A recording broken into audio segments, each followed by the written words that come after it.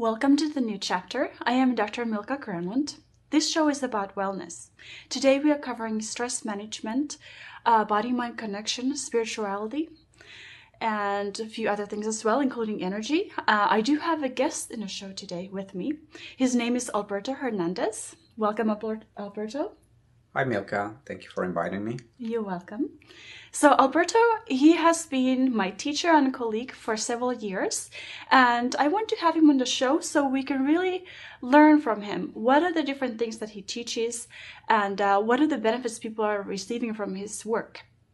So, Alberto, can you tell me a little bit about your background? Well, a little bit about my background. Well, I have an academic background, computer science. I studied in Mexico. And also, when I came here to the States, I studied dance extensively for about 15, 16 years. And also, I studied some martial arts, a lot of body movement awareness, and I'm certified Pilates instructor. So, uh, what I teach in the workshop is related to understanding the body to have a somatic awareness of the body. And also, uh, in the area of spirituality, I have a very important figure in my life, my meditation teacher, Mei Chen, with whom I studied for about 12 years. And then the last three years that I spent in her practice, I was assisting her, leading the class. And that was to me the best training that I ever received in the area of spirituality. Oh, that's fantastic. That's so many years of experience. Long time med- spent probably meditation, probably hours and hours. Who knows how many hours it's been, right? Yes, and also um, my family in Mexico, they're related to energy work, energy healers. So it's something that it's no no unknown in the family. It has been ingrained for generations. So you are very comfortable when it comes to energy and healing, right? Yes. That's excellent.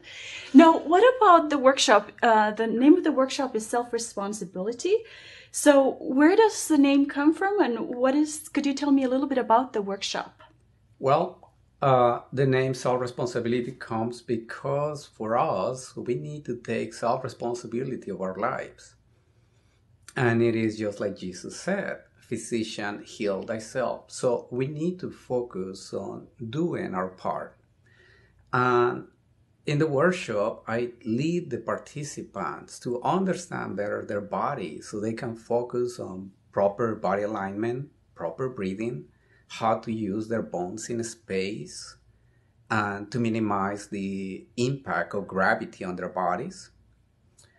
And also, I guide them through some simple exercises, demonstrations to understand how the mind processes information, how we co create reality.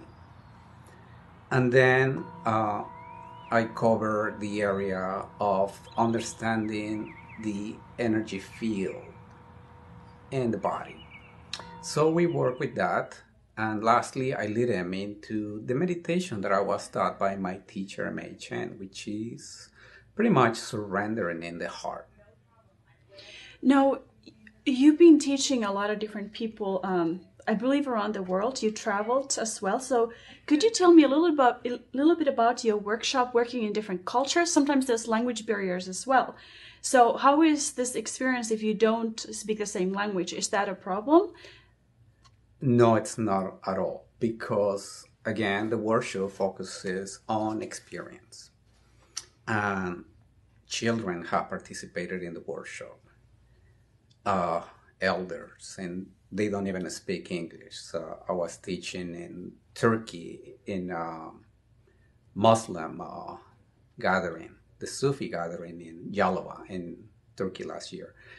And at this gathering, a lot of the participants they didn't speak uh, English, but we have some translators.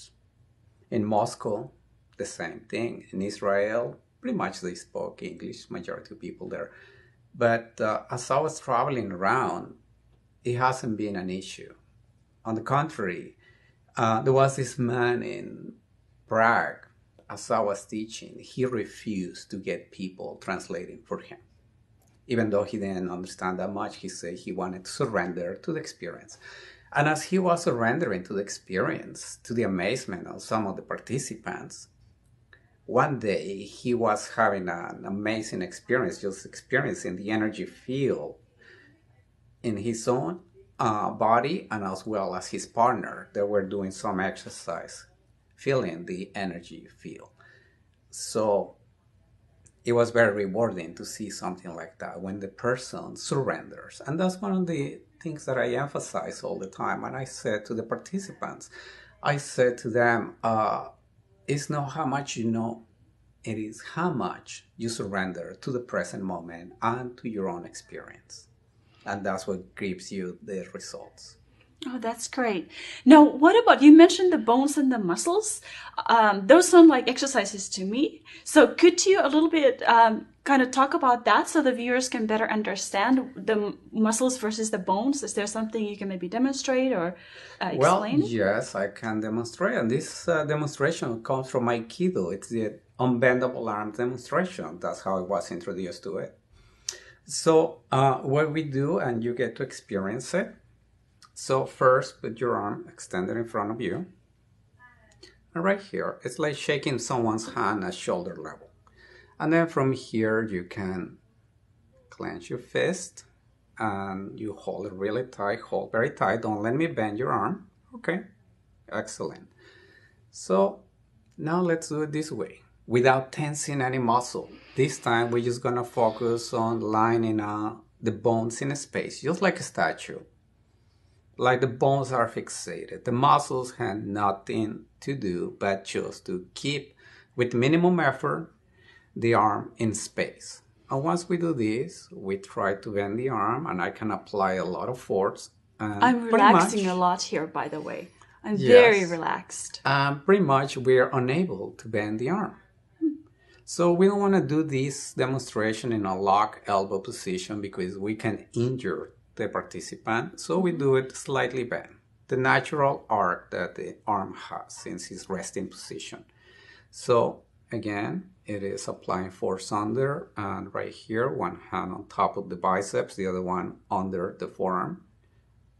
And try to lever. It's not about hurting the person. It's just about bringing that awareness that the bones can accomplish with minimum effort.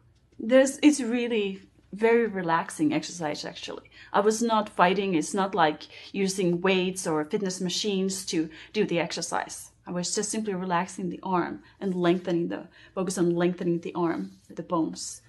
So this simple demonstration, we can talk days about it because it's pretty much is like the Chinese say, the way wu wei, do without doing.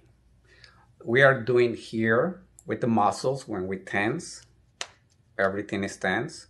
So we're wasting a lot of energy. When all we have to do, we gotta trust nature.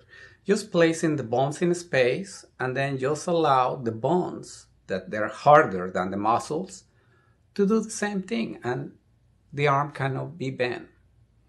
So this simple demonstration also teaches us that when we are tensing the muscles, this is when our mind tries to operate, controlling things. But when we surrender, we harmonize with nature. So this is the way of the mind, tightening the muscles, or the way of nature, by allowing the bones to naturally place in a space.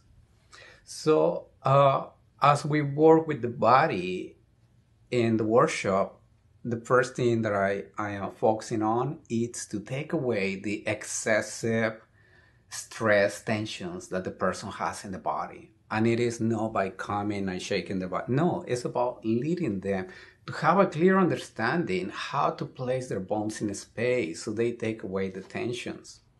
And once we do that, the participant then has a lot more oxygen going into the brain. Because in order for us to tense a muscle, we require oxygen.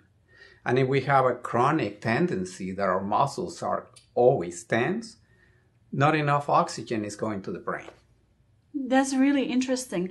Now, there might be viewers wondering um, is there a certain background you should have in order to be able to be in a class? Uh, the, you know, you already mentioned you've been practicing a long time. Are there specific things that people should know ahead of time before coming? Um, or is it okay just to come to class and experience it?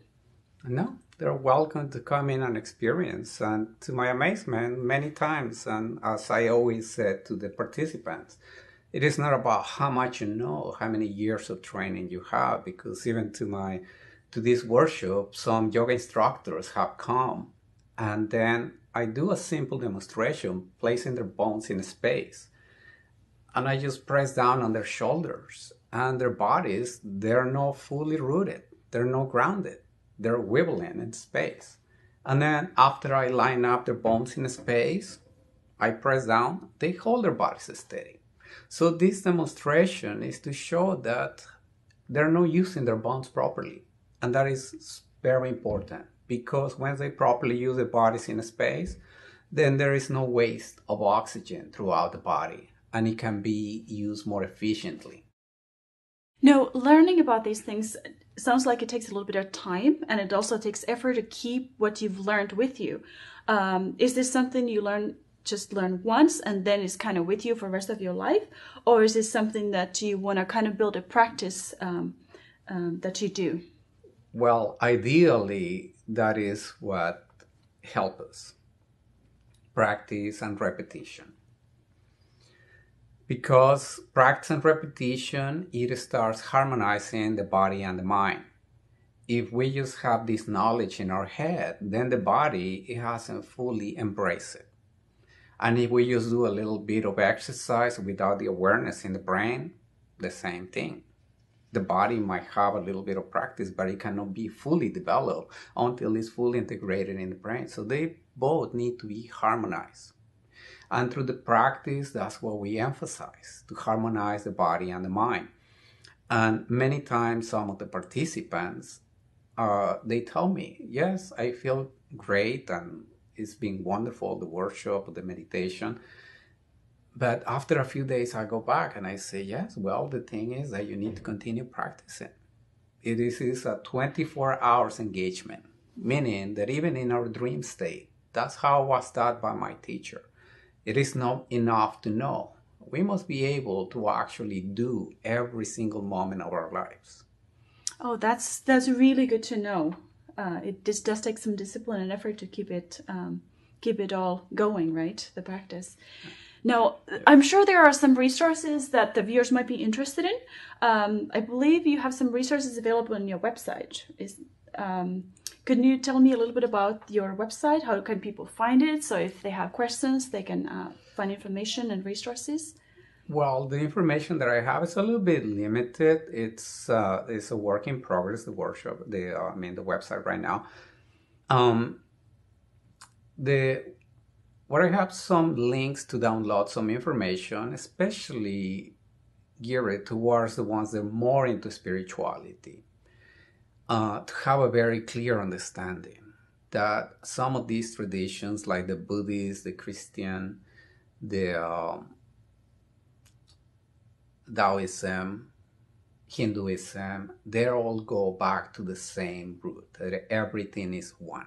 Everything comes from one source. And I had these a few books that I recommend the person to read, and it is to have a better understanding. Because in the workshop, I also do a little lecture here and there. I don't like to talk too much in the workshop because I'd rather focus on the participants getting a direct experience. So what we do, I mention bits and pieces of some some important notes from the Bible, quotes from the Bible, excuse me. So the Buddhist text, Hinduism. So and also I have a couple of links to some uh, scientific research done. So a lot of what I teach it has been backed up by science. Well, that sounds fantastic. So selfresponsibility.org is the website that yeah, one can it go is to. Self-responsibility.org. Perfect. Well, thank you so much for taking the time to share these wonderful things uh, with the viewers. Um, I hope to uh, wish you luck with your workshops and your future. It's such an amazing area, being in the area of spirituality, body mind connection, stress management, and effortlessness in terms of movement.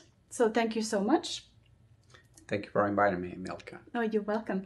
Thank you for watching the new chapter. We look forward to seeing you next time.